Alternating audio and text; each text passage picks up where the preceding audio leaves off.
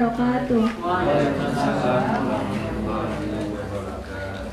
Salam sejahtera untuk kita semua dalam mengawali mengucapkan terima kasih banyak. Nantinya ini akan ada dua kegiatan Bapak Ibu. Eh, ada pemaparan materi dari sumber kita.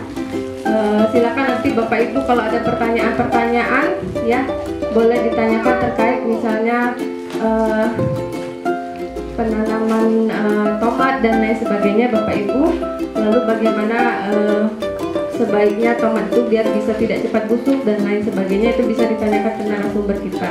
Saya sangat mengucapkan terima kasih kepada eh, Bapak dan Ibu yang sudah me- menyempatkan waktunya melakukan eh, pengabdian masyarakat.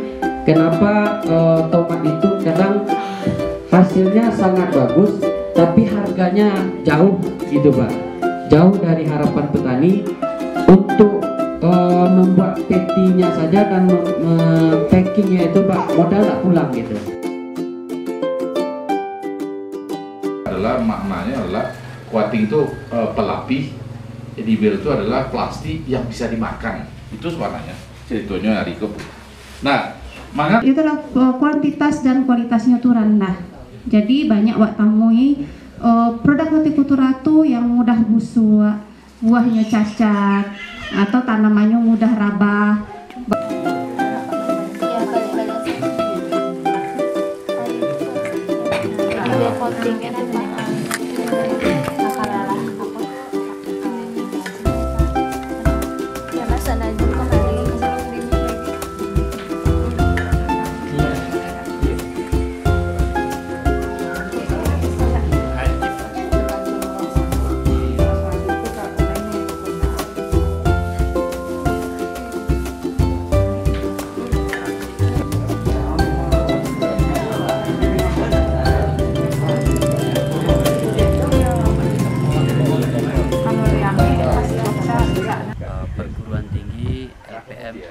Lembaga Pengabdian Masyarakat Universitas Negeri Padang yang telah eh, melakukan kegiatan di anggota kelompok eh, KUB Pemuda Sayur Sekato dalam rangka membina petani pertanian tomat.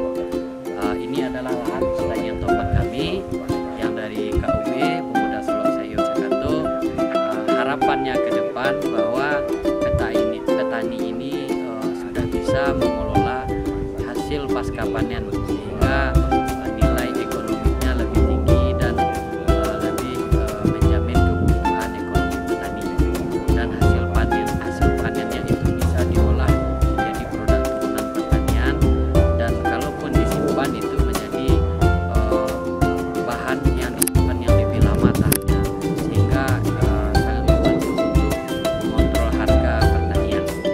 Sudah kami ucapkan terima kasih kepada Bapak dan Ibu rombongan dari UNP Padang atas penyuluhan baik di bidang cara perawatan tomat dan juga untuk eh, daya simpan agar lebih tahan dari pembusuk atau pengguna.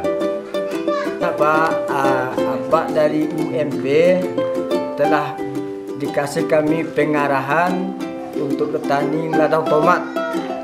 Seter- bagaimana selanjutnya tomat tomat kami subur. Nah, kami sangat minta pertolongan dan dukungan dari Bapak Ibu. Sekian